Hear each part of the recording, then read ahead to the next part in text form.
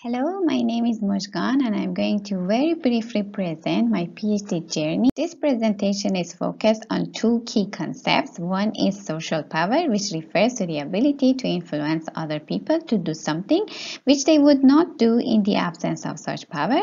And the other one is persuasion, which refers to an attempt to change or shape a target's belief or behavior about the subject or object or a matter. Uh, the link, the similarity between these two concepts motivated us to investigate the effect of social power on persuasiveness of social agents. To start, first we attempt to conceptualize social power for social agents. In, in, this formalization, we use the model of social power introduced by French and Raven.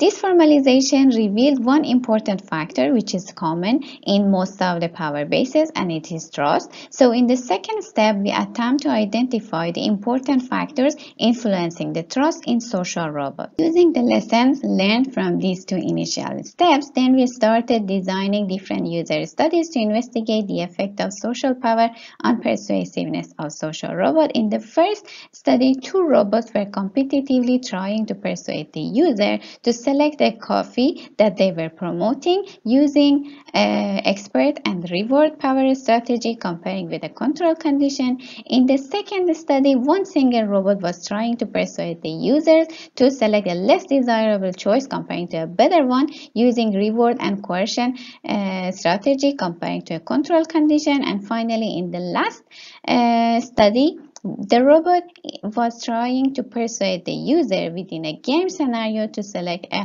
higher challenging option.